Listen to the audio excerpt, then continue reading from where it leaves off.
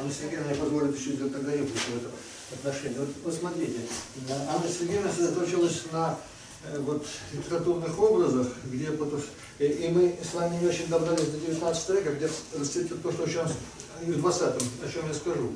Потустороннее, оно как бы истончается, лишая свои предметы, все более лишая своей предметной выраженности. В чем это проявляется? Ну вот, да, идем, ну, видимо, по английскому замку лучше всего ходить, да, вот мы идем и идем, скрипнула половица, да, вот мы идем, вдруг ручка повернулась, да, зашли туда, штора колыхнулась, кто-то есть, да, кто-то, а может быть что-то. И, и вот э, представить себе, что оттуда некто или нечто, да, это уже как бы сказать, или вообще не по ту сторону. Жаль, что сейчас света, понимаете? Лучше, конечно, землей Я вам показал. Да. Э, представить, что вот это некто, да, это значит э, не то, чтобы снять тему потустороннюю, она, вот, мертвяка, мертвяка тоже можно видеть, она ослабляется. Понимаете? Она вот, через предметную выраженность потусторонняя что-то теряет. Э, что за этим стоит? Как я себе представляю, понимаете? Э, потустороннее э, веет ветерком, а потом, может быть, вихрем ужаса. И вот э, надвигающаяся потусторонняя – это надвигающаяся смерть души. Понимаете, если бы это было смертью тела, если бы это, этот бусуков тебя впился и отпустил у тебя кусок мяса, так это бы еще, это еще не самое страшное. Потому что это соприкосновение с телом, это мучение. А вот ужас последнего потустороннего, то, что оно, что оно не мучительно. Потому что мучение, оно, если оно не чрезмерно уж совсем, оно э, позволяет твоей душе собраться и, ну скажем, выдержать боль от, от, от откушенного. А, а потусторонняя, да, входя в тебя, она, она э, разрывает твою душу. Э, потусторонняя это и и, и ты это рассыпается пылью грани души. И вот э, э, это и есть последний ужас. Потому что в тебя что-то вошло, но, но так ты не увидел что. Ты не, не то, что ни с кем не встретился, ты не, не ощутил ничего, чего бы то ни было присутствия. И, и вот, э, и, вот э, и, и тогда, Виктор, заканчивая это, да, и тогда мы говорим все-таки о ничто. Да? Это, это не смерть, это ничто, мне кажется, да. А еще можно Пожалуйста. уточнить, э, вот вампиры, там же там как кульминация, когда он впивается как раз зубами, да. ну и подчеркивается э, этот эффект ужаса тем, что вот э, он плоть, в плоть входит.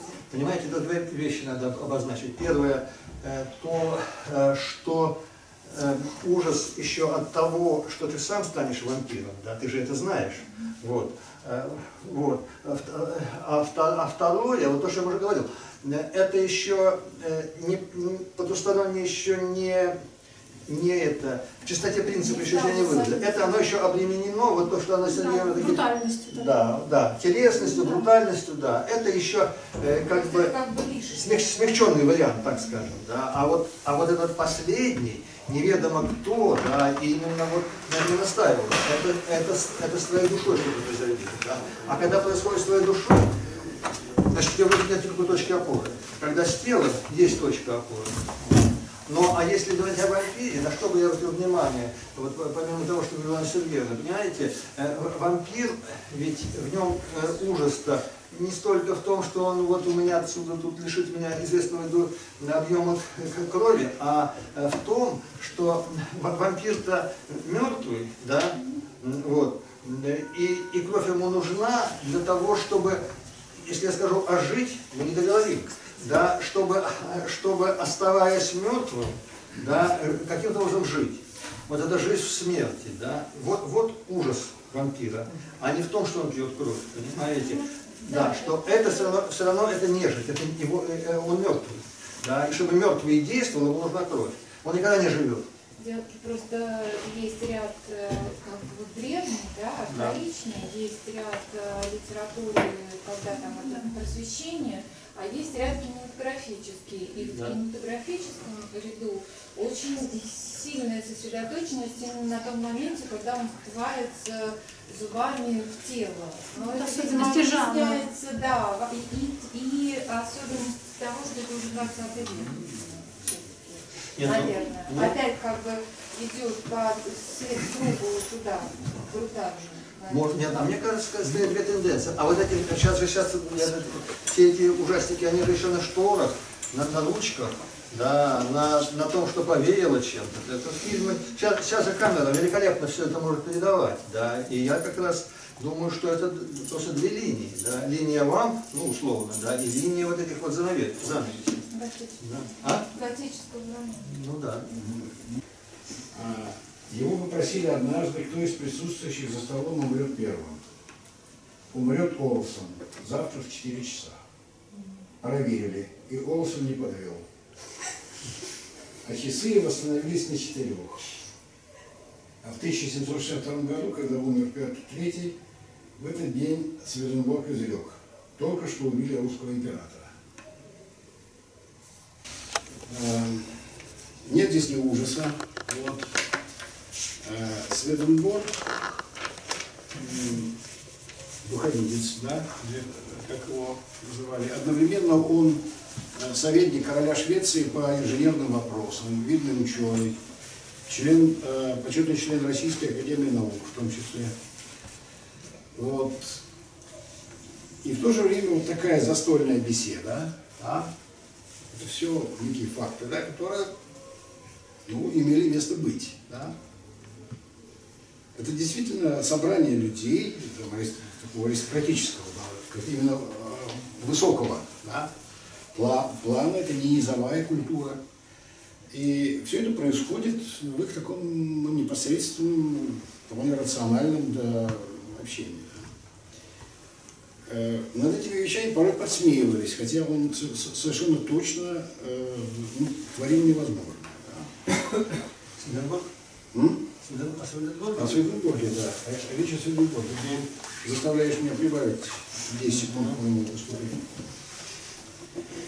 А, а, и он как бы немножко обижался и говорил «А, для вас это неизвестность, а мне давно слышать, видеть потустороннюю жизнь, словно бы наяву, и уразуметь. Однажды он вдруг осознал, что не дышит.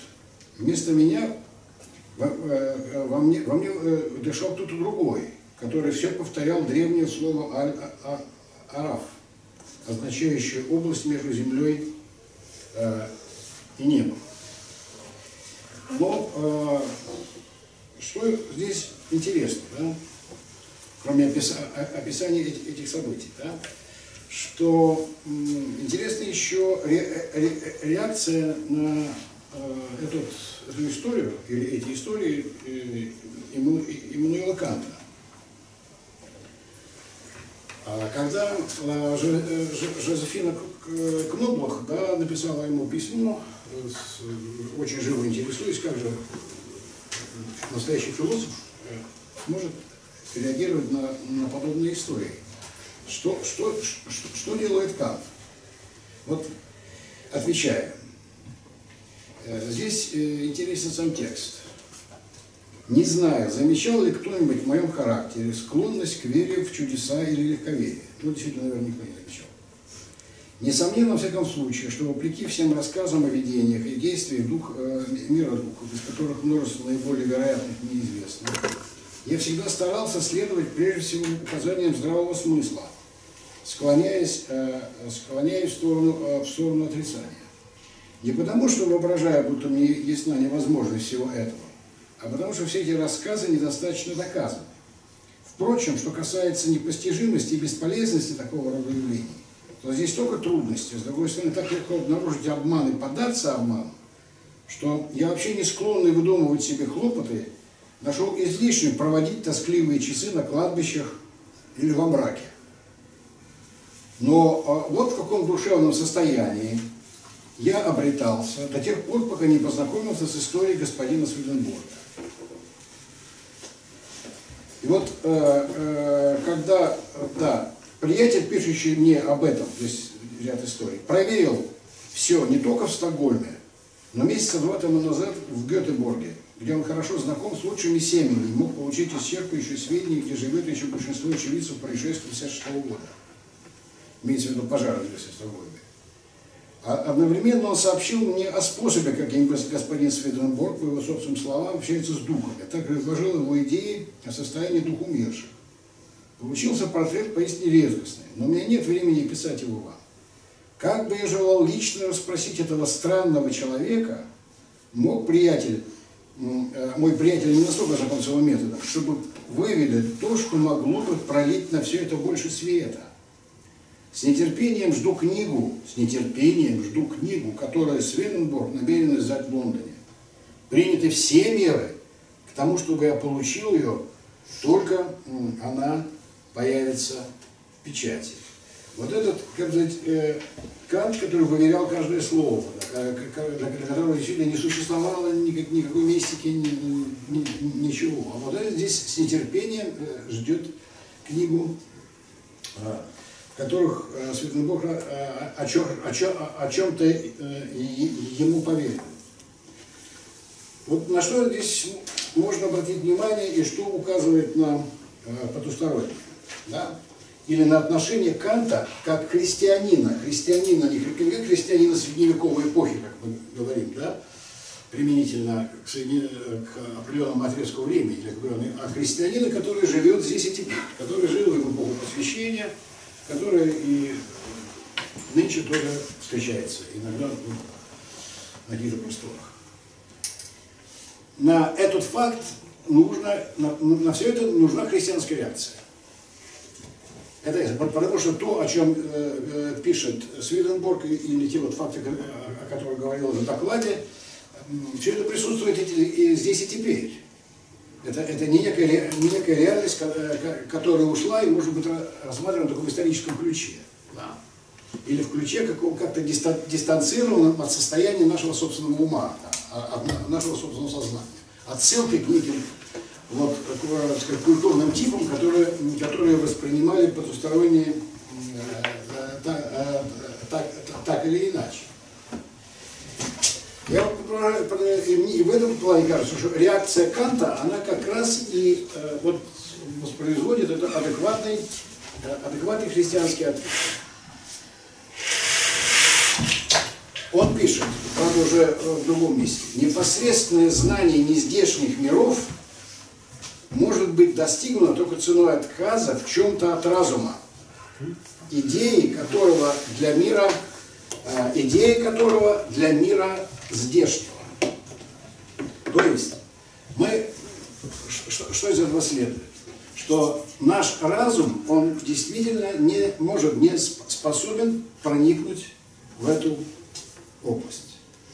И это относится опять-таки не к человеку, не к человеку прошлого, ни к той или иной культурной эпохи. Это относится к человеку как таковому. Если попытаться метафизическую какую-то здесь, так, у меня сколько осталось? Ну, чуть пожалуйста. Так, э, если э, метафизическую линию здесь какую-то выявить, то, наверное, речь идет о, э, или можем говорить два термина, да, сознание и самосознание.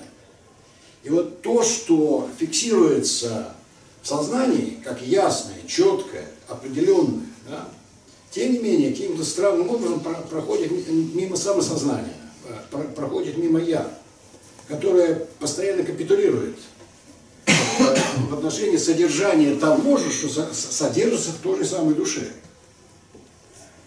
Что может быть притом описано и, воспринято с предельной, почти картезиан, картезиан, картезианской ясностью.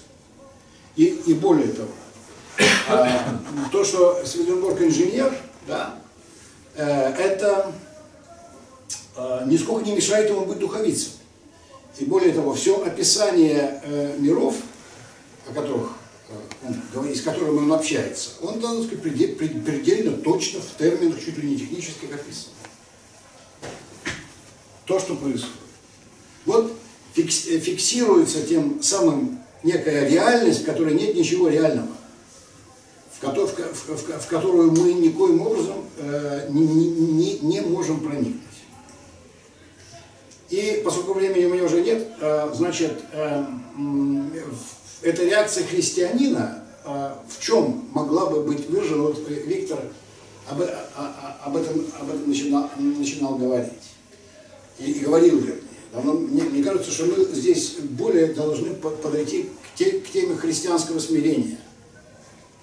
В том, что э, наше «я» э, вне отношения к Богу, да, вне э, знания того, что есть некая реальность, которая охватывает о себе все, да, вот для, для нас э, совершенно невозможно э, выдержать то искушение, которое нам предоставляет присутствие потустороннего. Вот сегодняшний семинар очень важен, потому что это понятие как будто потустороннее ходит где-то среди нас сейчас.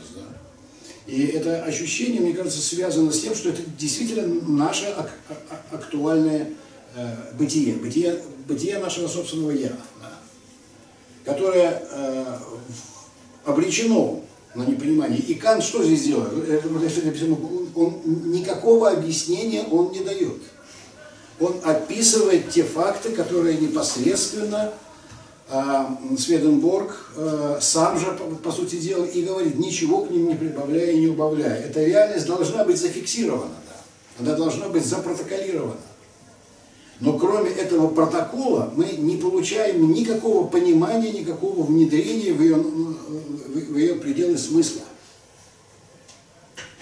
А выдержать такое состояние, да, вот выдержать присутствие этой бессмыслицы, а мы действительно никуда деваться не можем. Можно лишь тогда, если мы а, обращаемся к реальности Бога, или даже не к реальности Бога, а к Богу, который в обиду нашего брата не даст, ежели мы будем этого достойны.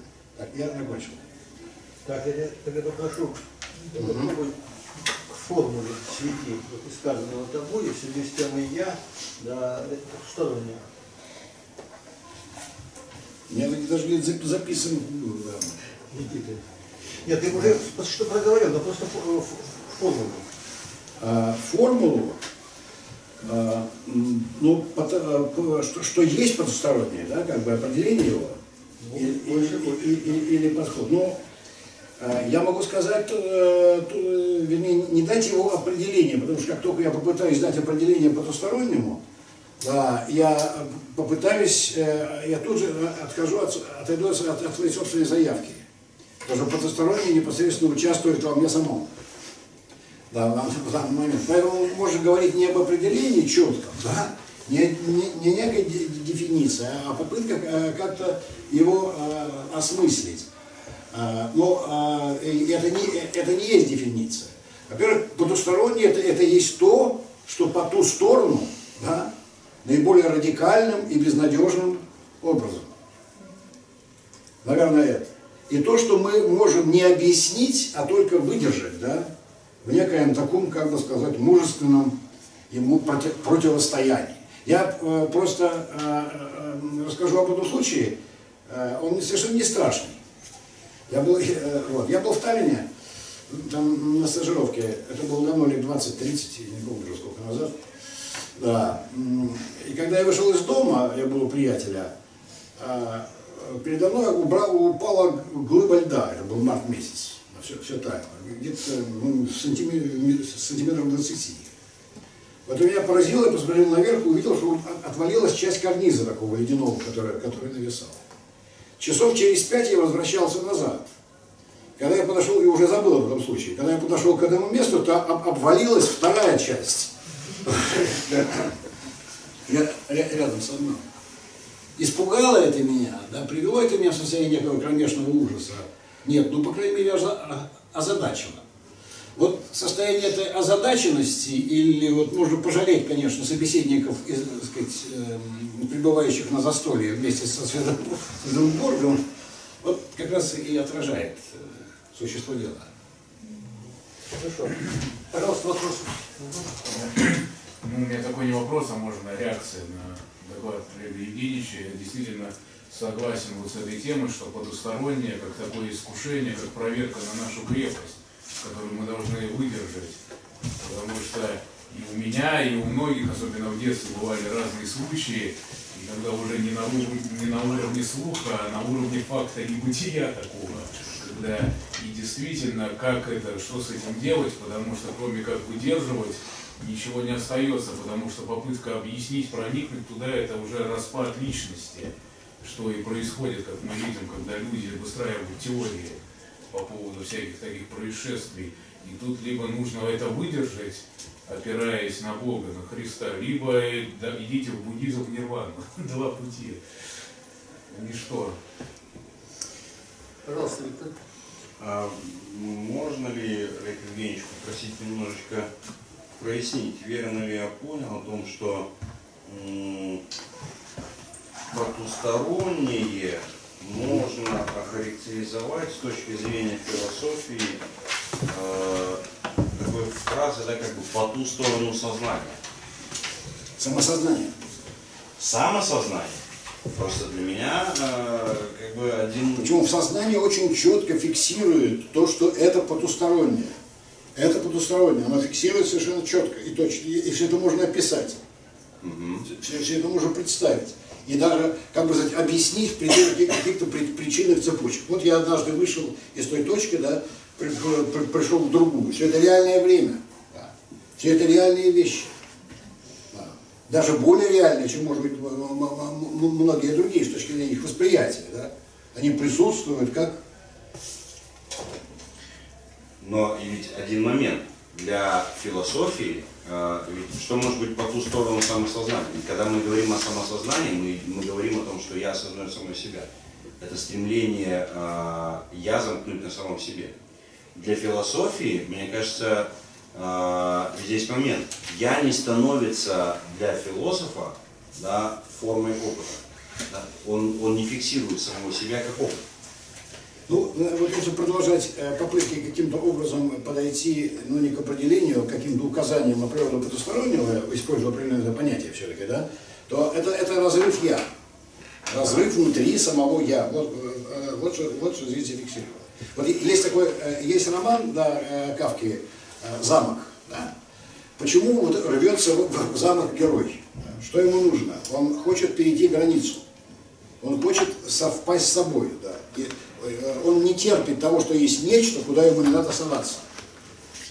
Он не готов вытерпеть, он не готов смириться. Да? Это вот такая фаустовская тема, которая, которая там звучит. А христианин, он может согласиться со своей раздвоенностью, да, со, со своей бедой, да, ну, со, со своей... Да, со своей невозможностью. Э, Все-таки Э, ну, пафос, так сказать, доклада в том, а, э, как не впустить себя потустороннего. Да? Да. Это что от, пусто, от потустороннего э, э, спасает аскеза да. ума. Да, да. Вот. И Э, собственно говоря, э, не случайно здесь Кант всплывает, это путь философа. Да, вот, потому что мы можем задать вопрос, ну вот смотрите, а потустороннем там бесконечно возобновляется разговор, оно живет в нашей душе, мы очень можем вспомнить себя в детстве или, э, или в вполне взрослом состоянии, когда на нас дыхнуло потустороннее.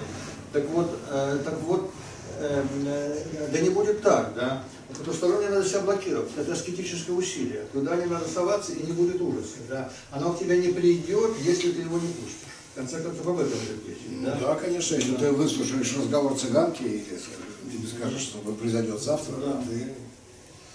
Да, потому что, да, это, это действительно распад души, э, это такая дестру, э, деструкция «я», и в этом смысле потустороннее, почему она все время от века к веку возобновляется, да, или от, от отказа от своей привилегии мыслить, да, то есть для философа, да, или в каких-то щелях, провалах там, христианской веры, а тем более языческой.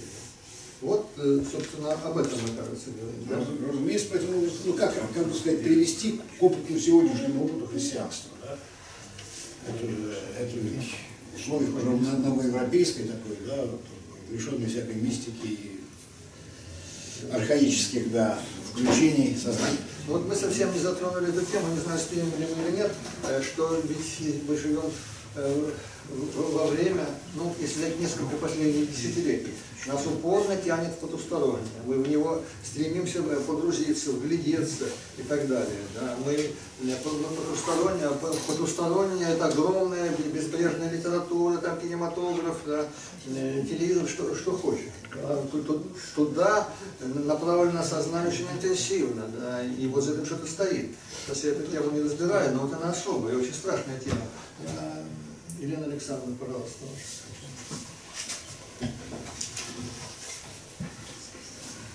Ну, боюсь, что я хотела сказать то, что вот сейчас как раз прозвучало, хотела попытаться сформулировать, э, как бы вот я сформулировала, что такое потустороннее.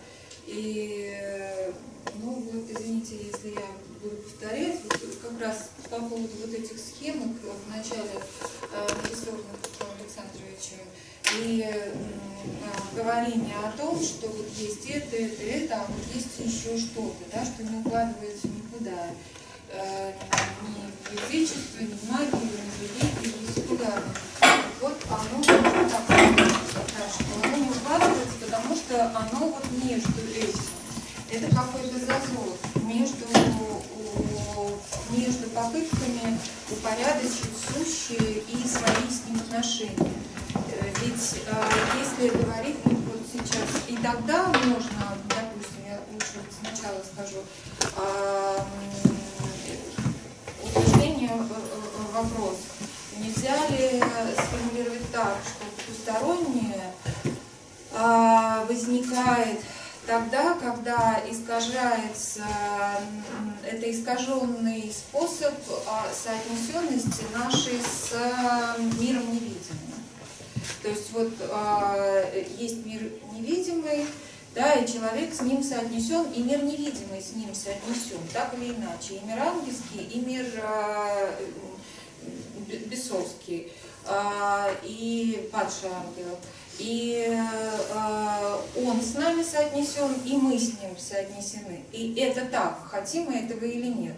И вот когда эти наши отношения искажаются, а искажаются они в частности, они, разумеется, искажаются, если у нас сознание становится секулярным, то вот тогда все это э, э, как бы дает о себе знать наши отношения с миром невидимым.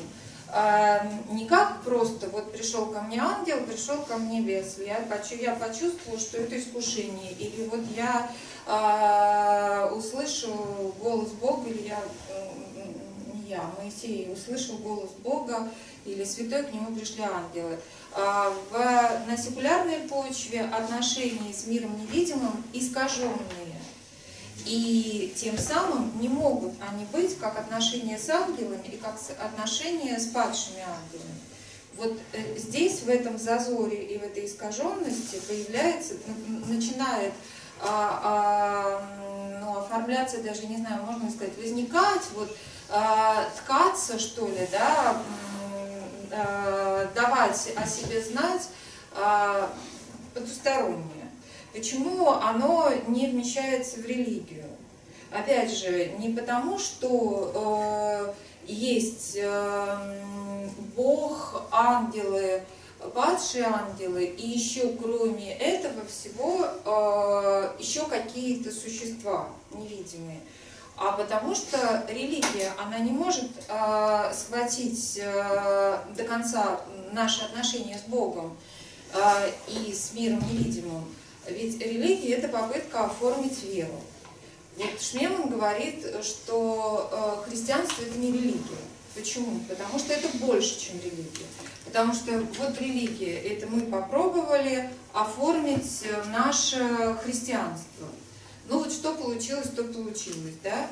И все равно, как бы она не была близка к истине, да, как бы она не была православна, все равно что-то от Бога мы не смогли э, вместить в форму, в эту в религию.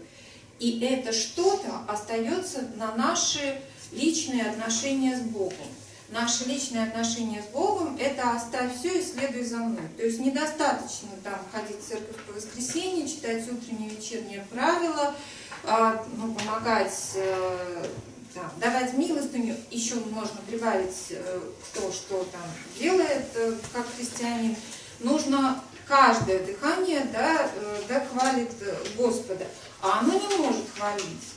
И тогда даже в жизнь христианина может вполне просочиться вот это то, что не схватывается религией. А, теперь, да, по поводу слуха. Вот, а, как я понимаю, ну, именно поэтому, да, слух а, а, потустороннее живет в слухах. Слух, как мне кажется, опять вот звучали тут слух, сказка. Вот слух это не сказка, это не небывальщина, несмотря на то, что о нем так скептически отзывались. А, это он соотнесен э, с какой-то, так скажем, историей, с чем-то, с каким-то происшествием, он вполне может быть соотнесен. А, а, а тогда, ну там, мне скажут, или я сама себе скажу, а почему же тогда он не подтверждается? А потому что когда он а, как подтверждается, это значит, что а вот теперь проверим. И вот мы видим. Так вот попытка или опыт подтверждаемости слуха, это перевод а, этого слуха как а, указание на потустороннее в другую плоскость.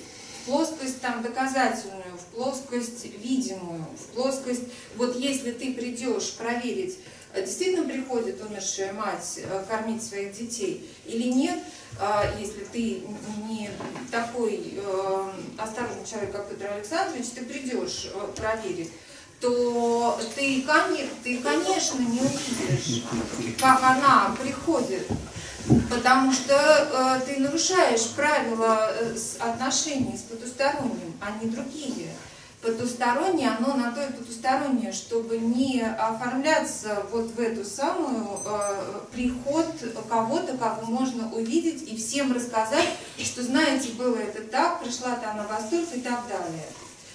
А, и сколько... А? Сколько? Вот, простите. Да. Ну, еще минуты четыре, пожалуйста.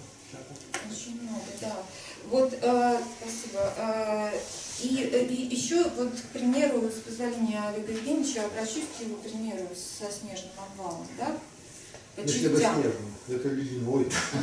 Не снежным, а с, с обвалом ледяного карниза, да.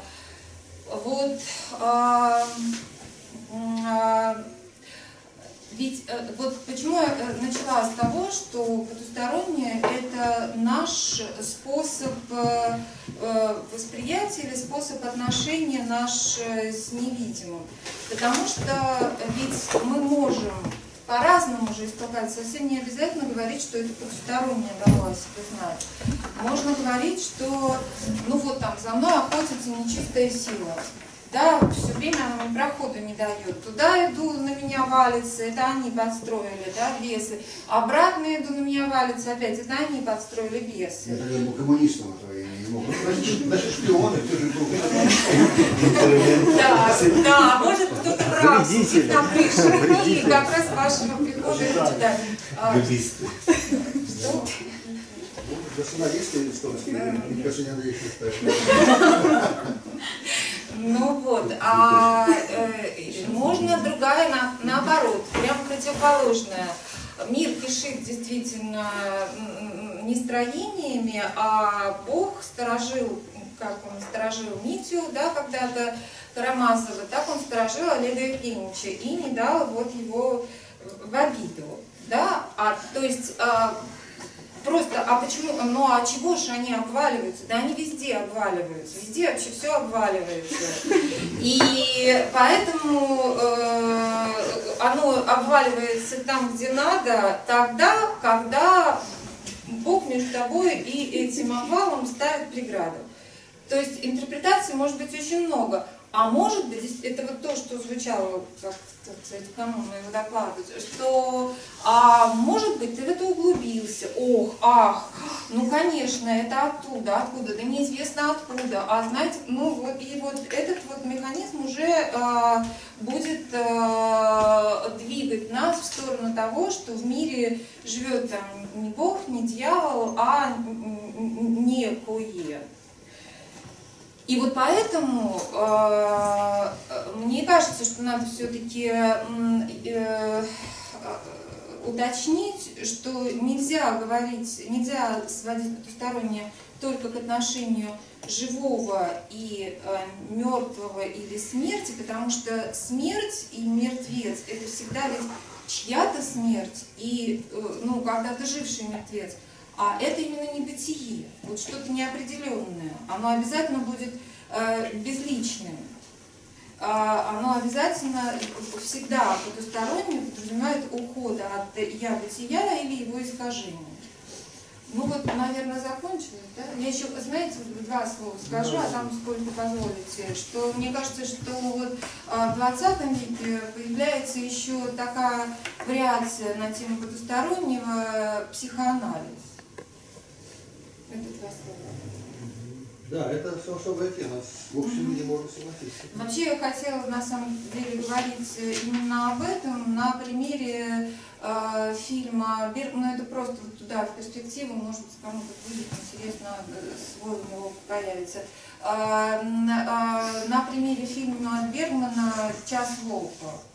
И вот э, там как раз вроде бы вполне можно интерпретировать как э, э психоаналитические какие-то там, ну не знаю, опыты, да, а, но Бергман не, не, вовсе не собирается, да, не в сто, хотя использует все эти приемы и готического романа, и просто вот, ну, он пациент там, в смысле пациент, у него клиника вполне может быть заподозрена, но он оставляет, как когда-то Достоевский оставлял э, Ивана Карамазова вот в этой э, неопределенности, что ж у него было галлюцинация или бес приходил, так и здесь. Он не говорит, что ну да, он просто психически болен, или как там интерпретаторы, ну, рецензенты фильма, ну вот там тяжелая ноша художника, Бергман к этому всему не сводит.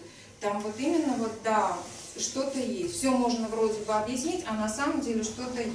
То есть психоанализ это попытка вроде рационализировать, а ничего не получается. Все равно туда, в потустороннее все идет. Вопросы. Значит, у меня был вопрос, который мы затрагивали, который, в общем-то, такое изменение потустороннее раскрывает существенное. Наша тяга. Да? Если бы это было просто ужасно, а вот Анна Сергеевна упоминала сладостный ужас, да, вот почему нас туда, почему нас туда влечет, да? А мы же не просто сталкиваемся, ужасаемся, мы не просто заходим в замок и видим, как, как, как там колышется портьера, а мы еще забираемся под стол и, и рассказываем себе все эти ужасы. Да? Вот. Что за этим стоять? Ну, мне кажется, э, э, э, тяга вообще к тому, что к, к, к преодолению, во-первых, тяга к тому, к преодолению ограниченности э, формы человеческого бытия, человеку же не, очень приятно, что он, он всего там 170 и там 90 в обхвате. Да. Ну, имел в виду самую широкую точку уголка. А, а, а, а, а, а? Это очень скромная Сюда это. Да. Да, я скром... решила быть скромной сейчас. Э, э, э, вот человеку этого мало, и он пытается, то есть у него просто мало просто потому, что он так задуман. Это одно. А второе, а сладкий почему? Это почему тянет. Да. А почему сладкий? Потому что э, сладко, когда э, тебе ты перестаешь, уходишь от я бытия, это вполне может быть сладко. Потому что я бытие тебе, ну вот это личностное, оно тебя все время теребит и обязывает. Как обида. Ну, это, ну, скорее, ну, обида, мне кажется, это тоже это другое. Надо это скорее как оргия. оргия ну да, или как вот э, туда там в СКК, на матч. Так, пожалуйста, еще вопрос. Как и потустороннего. А можно спросить, скажите, пожалуйста, а сон все-таки можно вот э, его причислить к что человек спит, ему иногда вот э, снится какой-то ужас, потом он просыпается, начинает вспоминать, и тоже как-то иногда со сладостным таким впечатлением, что же мне приснилось, и вот надо посмотреть сонник, а что это обозначает? Вот как-то можно это связать или нет? Ну, э, или не сонник, а то, что тебе не хочется расставаться Да, да, да, с да. воспоминаниями об этом сне. То есть, если бы сон это был чисто там тоже одна из би- биохимических реакций, то а, ну, поспал, вспомнил, ну, что забылось и забыл. А человек э, действительно он- он- ему свойственно в этот сон снова погружаться, там перебирать, может даже тосковать по нему или отталкиваться. И это, да, один из вариантов э, а, как бы указания на то, что все не, не объясняется вот этими сцеплениями чисто там психо, биохимия, физическими. Пожалуйста. А нет ли вот в этом вот стремлении к потустороннему, э, невзирая на весь ужас э, самого потустороннего, как раз-таки э, попытки убедить самого себя или навязать самому себе, что смерти-то и нет?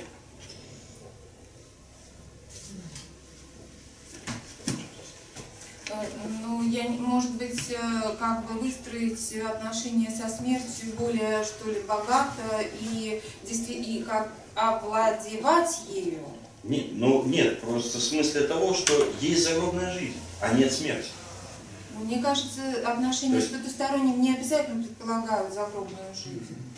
Но они всегда предполагают действительно э, сопричастность с тем, что выходит за рамки привычной нашей жизни, нашей формы существования жизни. Ну да, И оно поэтому, всегда сопряжено вот с переходом в другую реальность. да, поэтому я и предлагаю просто чуть-чуть э, осторожнее, что, ну, если, вот если говорить о том, что э, доказать себе, что смерти нет, это слишком, ну, хэппи-энд. Ну, и понятно. слишком определенно. А вот если просто попробовать, да, чтобы смерть не так тебе угрожала, да, и не так над тобой властвовала, а как бы ты м, начинаешь с ней на равных вступать в какие-то отношения, может быть, вот так. А, Вы знаете, я немножко другие акценты сделал. Вот, э, да, этот сладкий ужас, так или иначе, туда, к смерти, да, ты вот к ней э, вплотную приближаешься, и в то же время можешь все время выйти из игры. Да. В известном смысле, да, ты все время боишься умереть. А знаете, как, это вот как смотришь туда, вот, из Римского собора, да, не знаю, мне кажется, если еще бы постоял минут пять, я бы туда точно прыгнул. У меня нет уже сил смотреть с этой выси, да, вот, э, э, потому что вот, э, ожидание смерти, в высоком смысле мы живем в ожидании смерти, и она у нас вот, э, я, э, то обостряется, то отходит далеко на задний план. А, а вот здесь ты сам приближаешься к порогу смерти, да, зная, что это не вполне по-настоящему, что из игры можно выйти. И в этом смысле, в этом отношении, это не преодоление смерти, да, но как бы, э, и все-таки мне не сейчас умирать, да, а еще когда-то. Вот что-то такое в себе я нахожу. Да, но все-таки это попытка, да, хотя бы в какой-то вот в данный момент, да, но это попытка эту смерть победить. Ну, не победить, отодвинуть, да, снять. Потому что победа это другое. Победа это поступок. Понять, что пронесло. Да, и вообще, что она не сейчас. Да. Потому что вот ты уже зна- ты получаешь опыт, как ты, как ты сейчас войдешь, и, и, вы, и вышел. Ну, собственно говоря, это не та сторона с косой, когда никогда не будет тебя слушать. Да, но тогда получается так, что сама смерть э, не, выступает, не, не выступает перед тобой в форме судьбы. Она не властна над тобой. Ты властен, да, то есть Ну, только получается, да, как вот бы- давайте локализовать, да, вот в этой ситуации, эта ситуация снимает ту ситуацию, она снимает старуху с косой. да. Да, это двигает, да, ну, наверное. Да. Так, еще Елене Александровне, пожалуйста, вопрос есть? Да, да, ну ладно. Э, Спасибо. Теоретизировать, наверное, больше не будем. Я вот хотел две вещи проговорить. Одну, не знаю, как успею, а первую точно успею. Если мы говорим с вами э, по поводу того, что э, настоящая почва для существования потустороннего это слух, то я опять обращ- обращусь к своей двоюродной бабке Ма- Марфе Николаевне. потому что она была необыкновенная женщина, и она превратила слух в реальность однажды. Она была действительно, в каком смысле необыкновенная, она не сумасшедшая, ничего, вполне себе баба такая, обычная русская. Она ночью одевала некое подобие сауна, да, и ходила по улице, это абсолютно достоверно. Да, ходила по улице, и чем она значит, занималась, не тем будет помянуто. Очень церковный был человек, до старости. Вот. Она подходила к окошкам этих да, обывателей Карашевских и стучала, да. Кто-то поглядывал свирепый мужик, и потом это, с криком «помогите!» скакивал, да. Вот. Хороший чисто юмор был. А? Как, как, ну, как и у вас. Родственная связь чисто. Это присказка, а сказка впереди. В конце концов, она этим занималась очень долго, и мужики сговорились. С этим, да, потом она, да, потом она, да, еще на кладбище ее замечали. Они сговорились такие ее подловить. Они на это вооружились, взяли эти берданки или двустволки, и пошли на, на это самое, э, пошли на кладбище. А бабка, бабка моя, Марфа Николаевна, не больше, не меньше, как она на какой-то огромный там, то ли гранитный, то ли мраморный крест, ну, на эту, на перекладину забралась и сидела. Вот. И когда это, э, мужики с ружьями это увидели, да, а они вот оцепенели и стояли некоторые. Марфа Николаевна рассказывает мне, а ее родная сестра подтверждает полностью, полную истинность, которую я на дух не переносила, и она бы, конечно, не спустила никакого вранья. Вот они стоят совершенно оцепеневшие. Моя Марфа Николаевна медленно э, сходит с креста, и, и, и, и начинает к ним так двигаться. Да. То есть, да, дальше, да, что, что дальше? Э, дальше раздались какие-то дикие крики и звуки всякие, можете ли вы вообразить, не ошибетесь, да? Вот, если штаны промокли, это еще ничего не сказать. Вот, они побросали ружья и дернул, понимаете, и разбежались. Вот. Это... Ее словили а? в, другой, в другой раз, это было уловлено. Ну, во-первых, я плохо помню, но, скорее всего, она все-таки закончила, потому что его явно прострелили бы, так или иначе. Да. Вот, вот здесь потустороннее переходит э, куда-то... Повеселился, хорошо. А? Повеселился, хорошо. Ну да. Вот это, это уже, это, наверное, уже не потустороннее. Да, здесь уже как-то так оно. Ну, чему интересно? По-моему, очень а? жизнеутверждающий. Что-что? По-моему, очень жизнеутверждающий. Костя пытается наследственность проследить. Бабки ничего не осталось. Это в том же. Чувство, ну, чувство, чувство юмора. Да не, ну, я рассказываю, мне трясет это. Давай мысль, мысль, мысль давай. Нет, мысли больше не будет. А можно после этого? Как раз ведь мужики решили ее подстрелить, наверное, потому что они почувствовали, что это не. Ну, они потому быть этого Потому что, да, слишком закономерно все, слишком часто какая-то есть воля в этом во всем. Да. Движение какое-то последовательное, планомерное движение. Да, они, конечно, да. А второй момент. Э, знаете, вот если взять нашу русскую поэзию, да, и, и попытаться в ней искать вот эту тему потустороннего, но она не может полностью отсутствовать, потому что, потому что, ну, скажем, романтизм, это в известном смысле он тоже, она сегодня не было возможности об этом сказать, это тоже культивирование темы потустороннего. Э, и там у Жуковского можно найти, и у Пушкина, да, тятя-тятя, наши сети притащили мертвеца, а там уже, да, уже есть. А вот, так сказать, апофеоз а, тема потустороннего, это э, знаменитое, на мой вкус такое лучшее стихотворение Александра Блока «Шаги командора». Вот мы его как-то тут с вами слушали, э, когда Олег Евгеньевич там Какую тему тогда рассматривали, когда было из, из этого, из господина оформителя заключительный эссе? А? Тема света, да. Угу. Да. Там у нас было. И когда-то мы очень давно, лет 20 назад вообще э, это стихотворение разбирали. Но вот я хочу просто вам его немножко зачитать, не знаю, все, все ли его оно довольно пространное. Почему?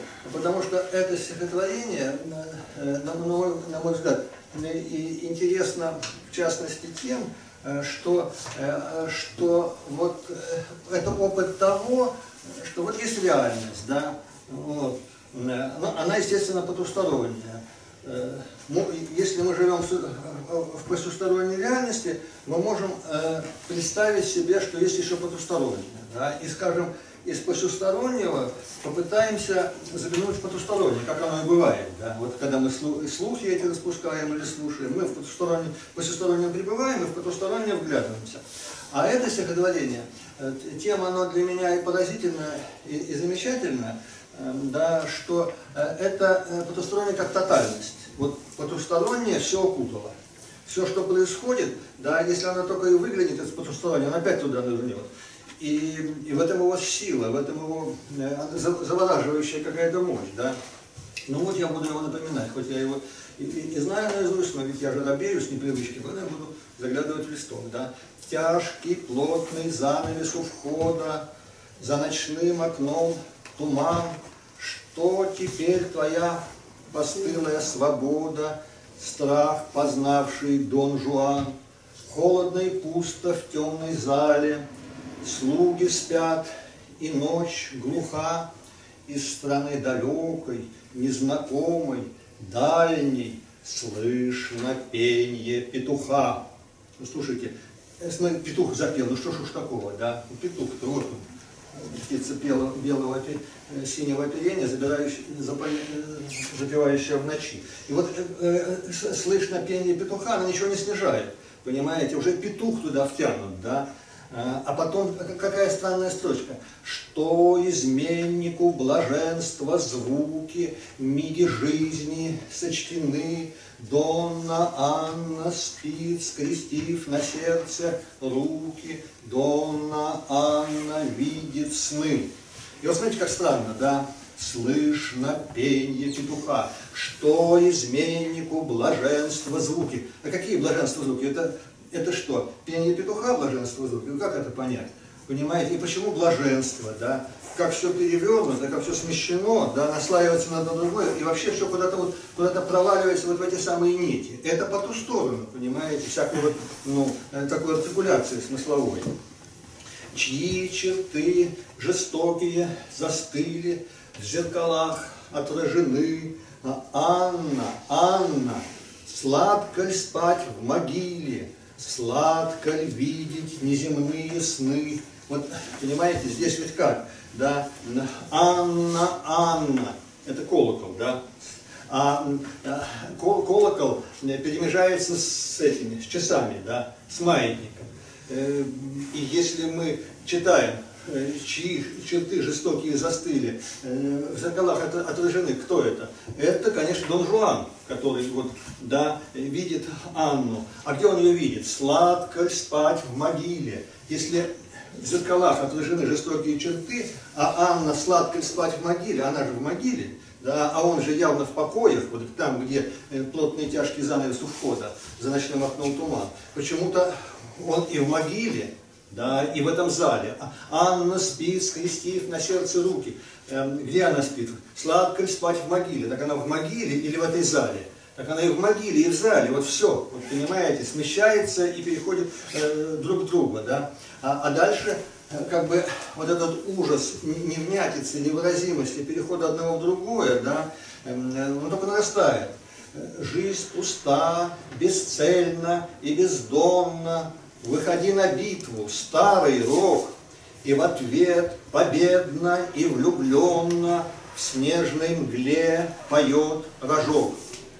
Все понятно, да? Если жизнь пуста, бездонна и безумна и бездомна, выходи на, на битву старый рог, Конечно же, здесь герой вызывает судьбу на поединок, на поединок да? но почему-то и в ответ победно и влюбленно в, в снежной мгле поет рожок.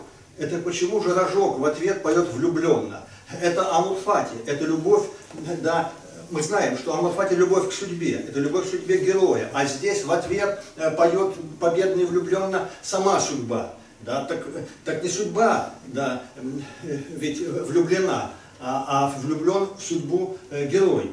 Почему-то герой становится судьбой, судьба героем.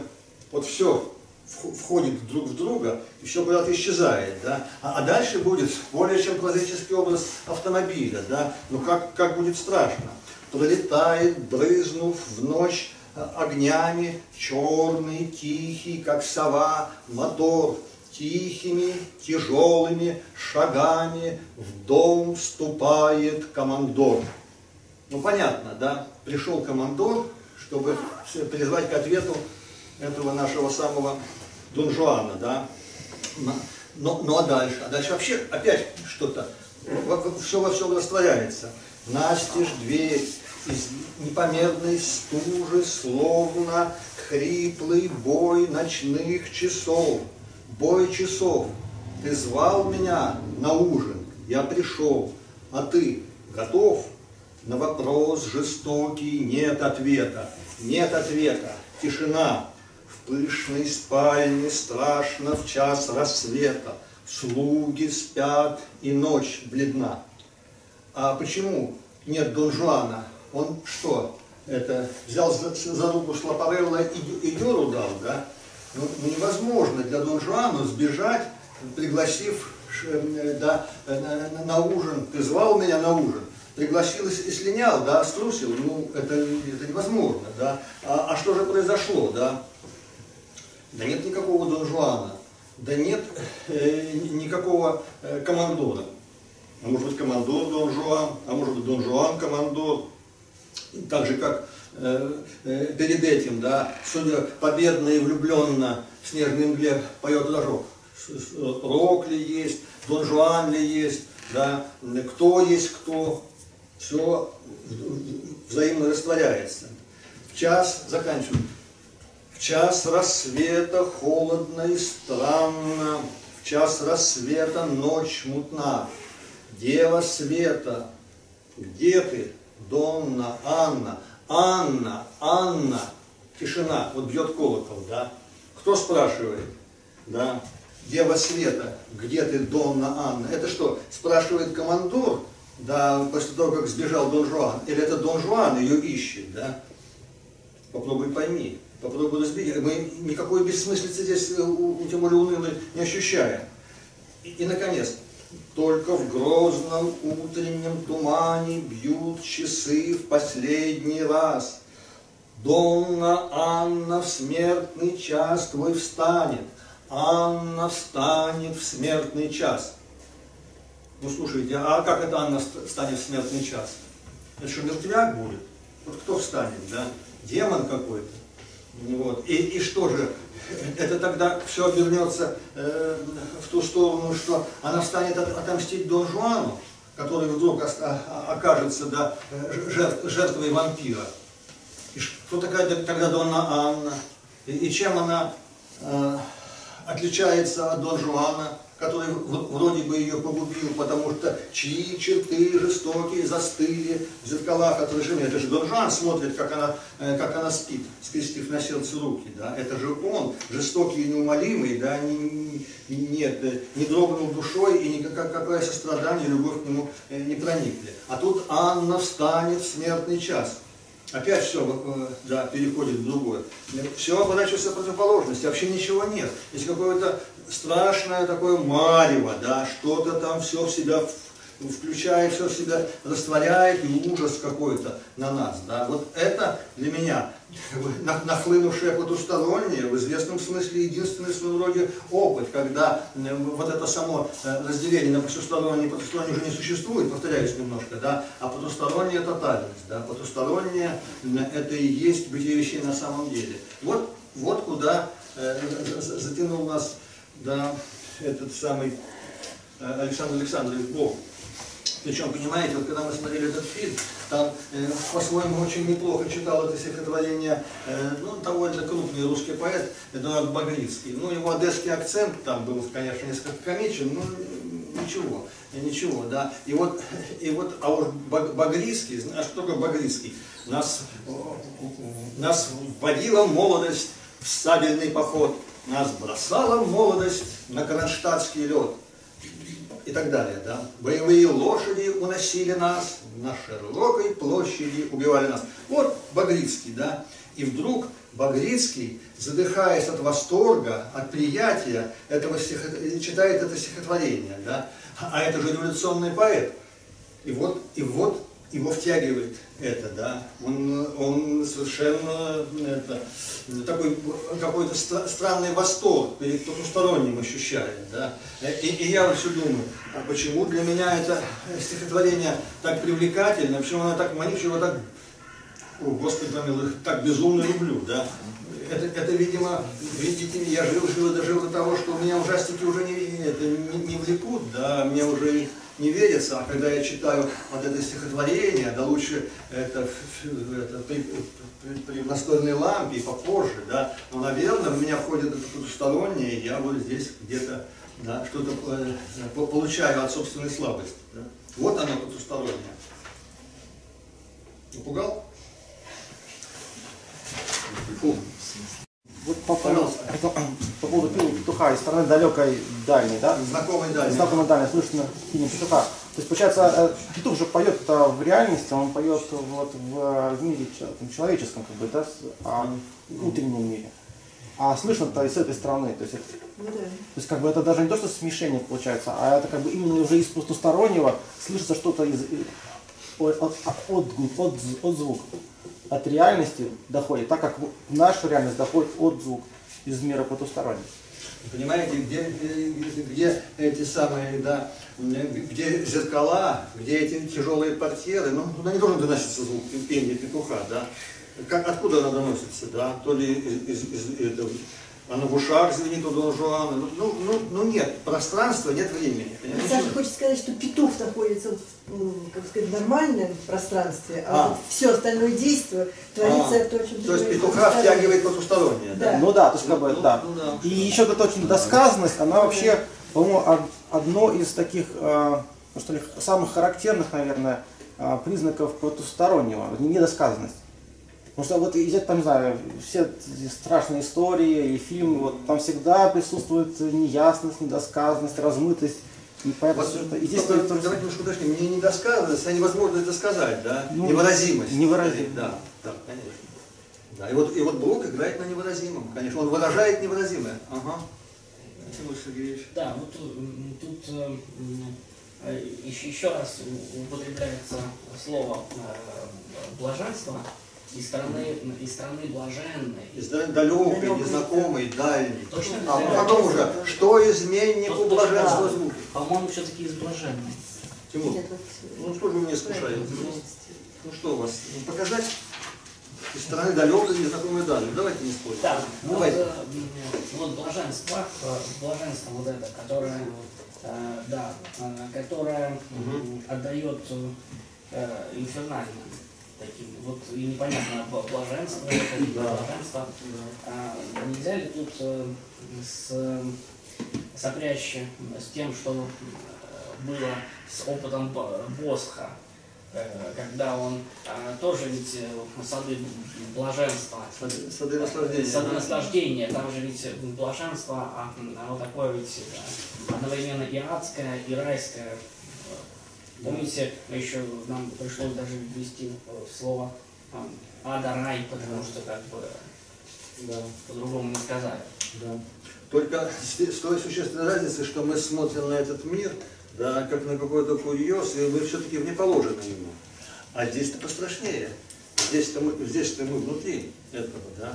Стихотворение меня совершенно захватывает, я там, внутри, понимаете, потому что кроме Донны Анны, кроме Дон Жуана, кроме командора, еще и Петр Александрович там, понимаете, разгуливает среди них. Вот, когда я читаю, да, вот это вот, ужас.